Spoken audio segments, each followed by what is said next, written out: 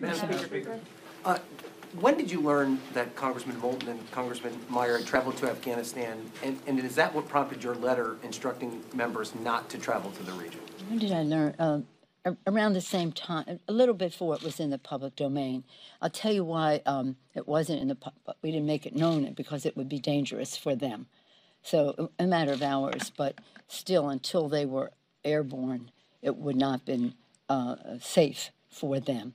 Uh, the Secretary of Defense, Secretary of State, th- there's a real concern about members being in the region, and so uh, with the, shall we say, uh, shall we say, knowledge of the Secretary of the of Defense as to what the risk would be to these members, a the re- resources necessary to facilitate their visit and to protect them was an opportunity cost of, of what we needed to do to be evacuating as many people as possible.